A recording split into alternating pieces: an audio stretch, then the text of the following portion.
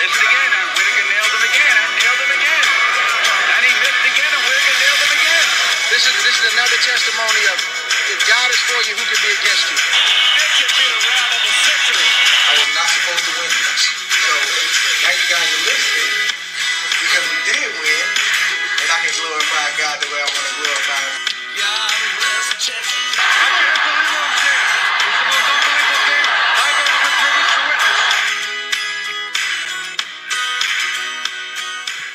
Welcome, welcome, welcome, welcome to another episode of 3D Boxing Podcast. We are back. It is good to be back. Uh, 3D Boxing Podcast comes at you, uh, quick hits comes at you every day, uh, eight ten minutes a day to keep you up to date on the latest, greatest boxing news and rumors. Please like and subscribe, share on all forms of social media. Please also subscribe to our other channel, Texas Boxing Scene. That's Texas Boxing Scene on YouTube. All proceeds go to autism research and recovery. It's near and dear to our heart uh, help us get that monetized and up and running. Okay, Texas boxing scene. Let's get into today's show. Um, Devin Haney versus Jojo Diaz is the big fight tomorrow out in Vegas. Um, good, pretty, pretty decent boxing weekend we had today. Um, um, boxing Friday we had today. Uh, we had we had two cards on DAZN and ESPN Plus. Um, tomorrow we have um, Diaz versus uh, Haney, and then fr- uh, Sunday.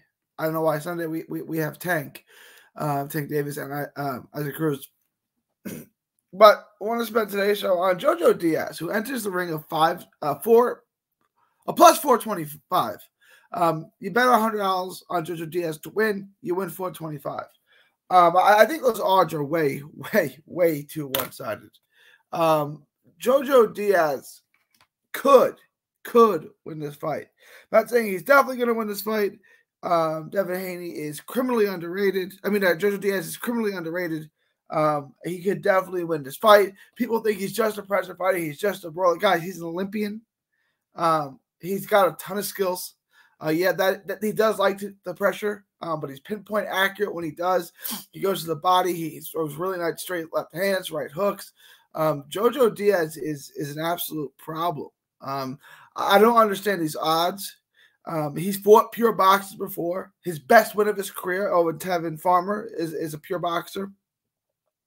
Um, he gave Gary Russell Jr. fits, and Gary Russell Jr. I think has the best skills in the sport probably. Um, and Jojo Diaz lost, but lost competitively and lost really close. Um, Jojo uh, Gary Russell Jr. also has a ton of pop. Devin Haney doesn't.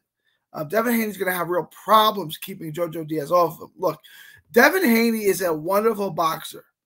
Um, he's lightning quick. He's sharp with his punches. He knows when to throw them. Um, he doesn't throw enough, uh, but he, he's he's excellent off the back foot. He, he knows how to use the ring. Um, so this is going to be a, a great contrast, right?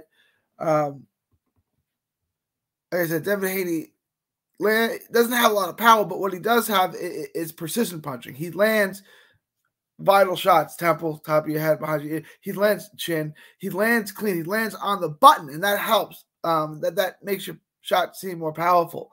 Um, but you're not going to be able to keep Jojo Diaz off you for 12 rounds, right?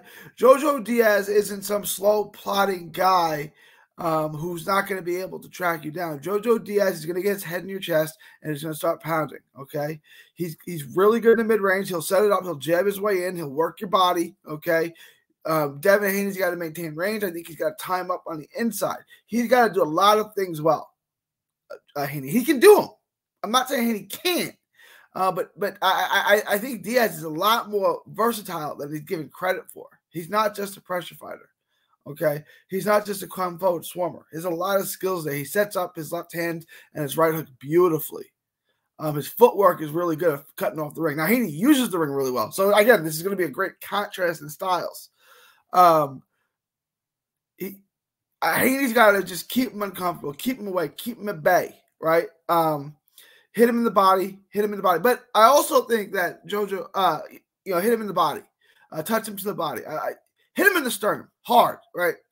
Catch his attention, slow him down is what Haney's got to do.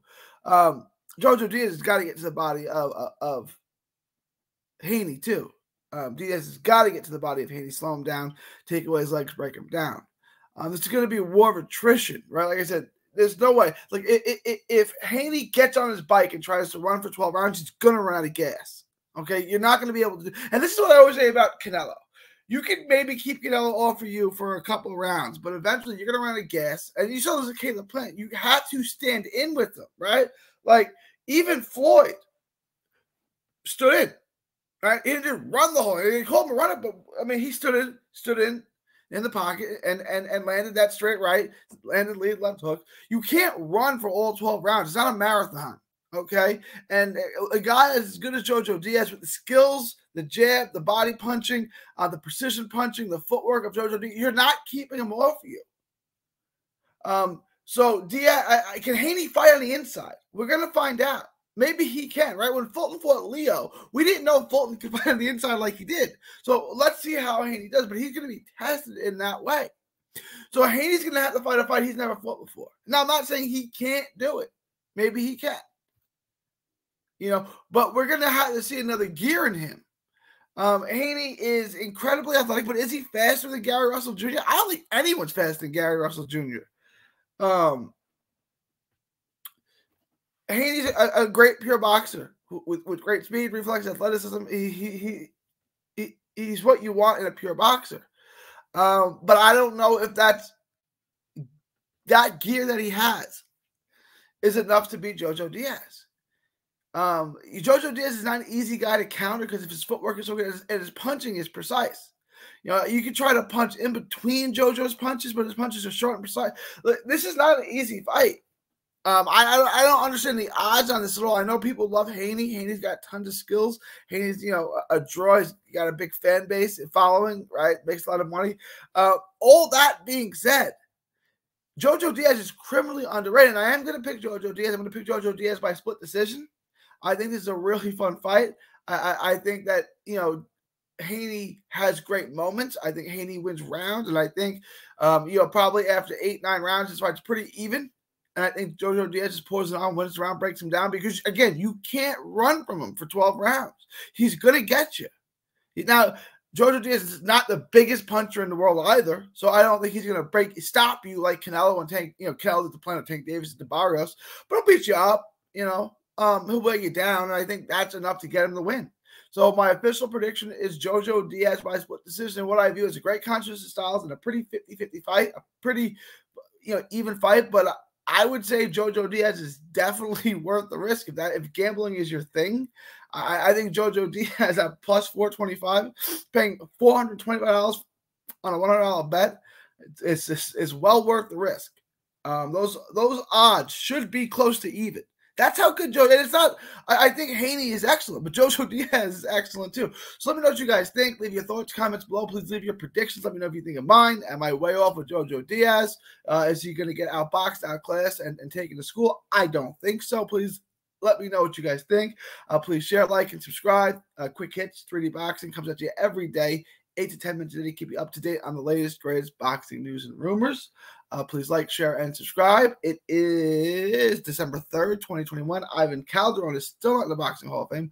Let's get him in uh, from Texas to the world. Thank you, and God bless. Don't miss a tweet, post, story, or video. 3D Boxing is on Twitter, Instagram, and Facebook. Hit the subscribe button now to stay inside the ring.